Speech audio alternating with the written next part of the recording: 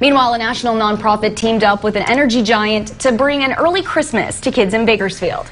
Aera Energy and United Way, Kern County, brought books and gifts to children at Head Start on Pacific Street with some help from Santa Claus.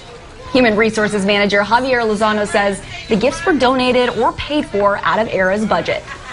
Part of it was, uh, as we look around the time of the year, it's just a perfect opportunity. And then this, this specific Head Start uh, is a great school and it needs some support from the community, for, and we want to be there. That's why.